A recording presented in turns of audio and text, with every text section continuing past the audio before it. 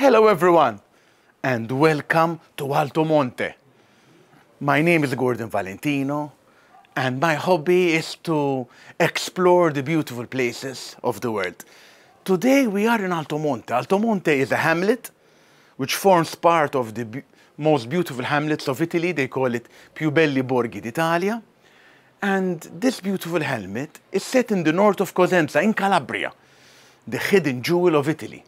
And from this beautiful place, one admires breathtaking views of the Monte del Pollino, Monte della Sila.